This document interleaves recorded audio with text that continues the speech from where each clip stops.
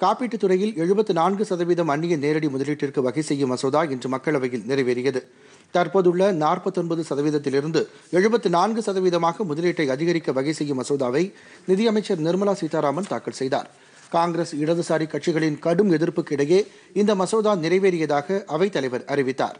இதற்கு முன்பு கடந்த பதினெட்டாம் தேதி மாநிலங்களவையில் இந்த மசோதா நிறைவேறியது. இரு அவைகளிலும் இந்த மசோதா நிறைவேறியதால் குடியரசுத் தலைவர் ஒப்புதலுக்கு அனுப்பி வைக்கப்பட்டு சட்டமாக்கப்படும்.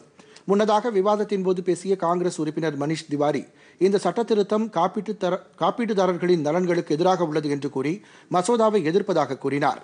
பிஎஸ்பியின் ஷியாம் சிங் யாதவும் இந்த மசோதாவை எதிர்ப்பதாக தெரிவித்தார்.